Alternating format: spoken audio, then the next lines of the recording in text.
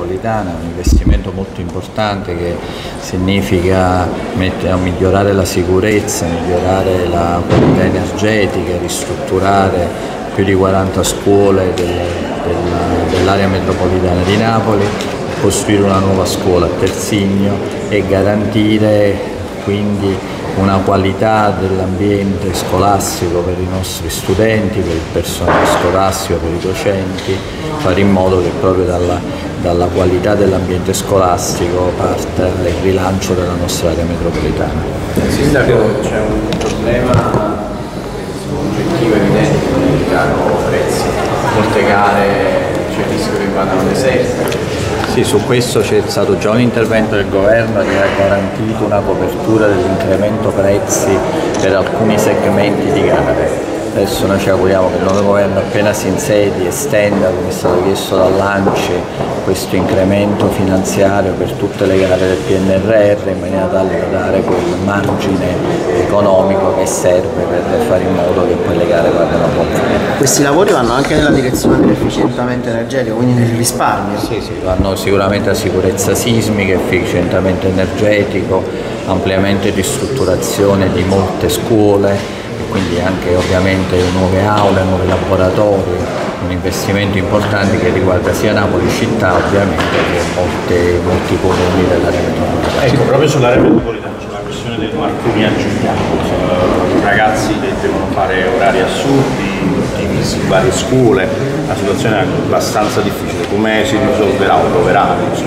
Allora là diciamo, la questione Marconi si era trovata una soluzione alternativa fuori il comune che garantiva il trasferimento di tutta la scuola. Il comune e la dirigente scolastica hanno preferito che il, la scuola restasse a, a Giuliano, è stato fatto un avviso pubblico per trovare degli immobili privati che possono garantire nel frattempo che c'è l'adeguamento sismico della scuola preesistente, di poter garantire un normale andamento scolastico, l'avviso è andato a buon fine ci sono state due offerte che sono state valutate in maniera positiva, adesso si chiuderà la contrattualizzazione definitiva con le scelte, ci sarà il tempo dell'adeguamento, l'ipotesi è di, mettere diciamo, il nostro obiettivo è che per il 31 di dicembre si completi tutto l'iter e ci sia la disponibilità dei nuovi spazi in maniera tale da ridurre i disagi.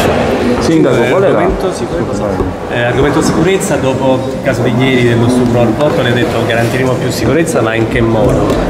Oggi c'è un comitato in prefettura perché c'è la necessità ovviamente di rivedere il piano ovviamente della sicurezza delle forze dell'ordine in città, soprattutto per quello che riguarda le ore notturne.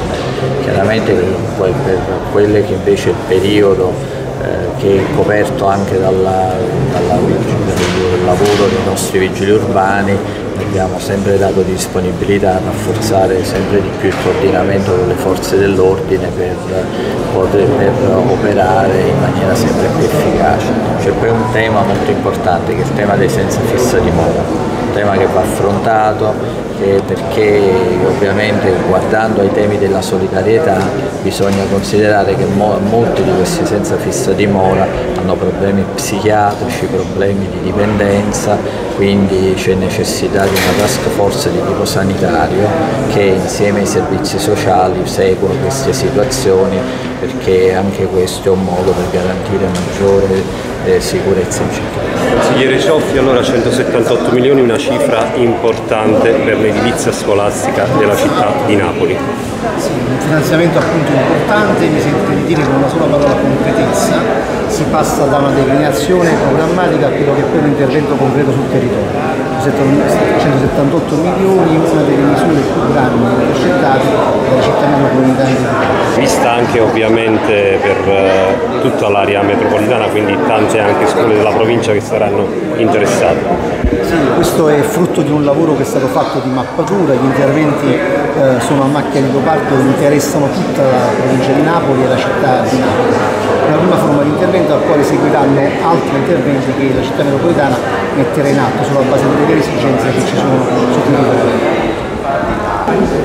Consigliera Bagnale, un intervento importantissimo che copre quasi tutte le scuole del territorio, credo che l'amministrazione possa essere soddisfatta dei risultati. assolutamente. Manfredi ci sta dando una grande opportunità di toccare con mano quelle che sono le esigenze del territorio, ma soprattutto renderle concrete, attuabili in un lasso temporale così breve. In pochi mesi un traguardo straordinario, 178 milioni di euro che solitamente potevano essere perseguibili, se perseguibili, magari nell'arco di un quinquennio. Riusciamo a toccare a raggiera larga parte dei territori del comprensione metropolitano, ma soprattutto in maniera oculata andiamo a toccare quelli che sono i paesi a maggiore divario sociale, quindi cercare di in qualche modo di sensibilizzare le zone del territorio più particolare, a rendere possibile la creazione di strutture che rendano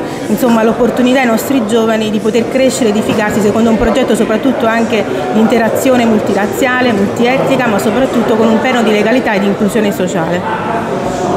Grazie.